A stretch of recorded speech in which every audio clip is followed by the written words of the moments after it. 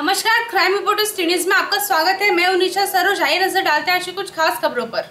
मिर्जापुर के जिगनर थाना क्षेत्र के अंतर्गत आर पब्लिक स्कूल में 1 दिसंबर को जीने सामान्य ज्ञान प्रतियोगिता का आयोजन किया गया था। पुरस्कार वितरण 15 दिसंबर दिन रविवार को किया गया। यह प्रतियोगिता दो वर्गों में संपन्न किया गया। कक्षा पाँच से कक्षा आठ तक, जूनियर वर्ग तथा कक्षा नौ से बारह तक सीनियर व दोनों वर्गो को मिलाकर पाँच सौ पचहत्तर बच्चे ने इस प्रतियोगिता में भाग लिया, जिसमें जूनियर वर्ग में राहुल बिंद ग्राम कलना के निवासी ने प्रथम स्थान हासिल किया। तथा सीनियर वर्ग में विपिन कुमार बिंद ग्राम नयपुर ने प्रथम स्थान हासिल किया। जूनियर वर्ग में द्वितीय अनुज गुप्ता, तृतीय गुरु दत्त चतुर्थ दीपांशु बिंद, पांचवे स्थान पर आकाश यादव तथा सीनियर वर्ग में द्वितीय शिवराज बिंद, तीसरे नंबर पर राकेश पाल व चौथे स्थान पर नीरज कुमार, पांचवे स्थान पर समरजीत ने परचम लहराया। पाँच पुरस्कार के अतिरिक्त दोनों वर्गों के लिए 35-35 संवंत पुरस्कार दिया गया। आर पब्लिक स्कूल के प्रबंधक राम अनुज बिन, प्रधानाचार्य Indra Kumar Sandeep Kumar, Vidya Devi